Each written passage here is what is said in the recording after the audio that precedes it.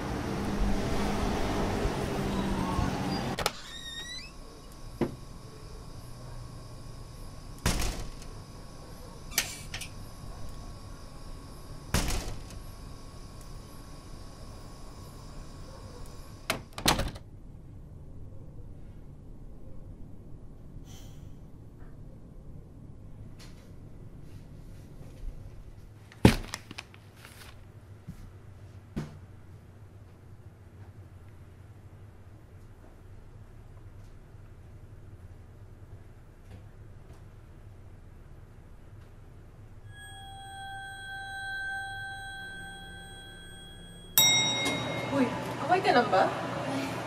Kailangan ko.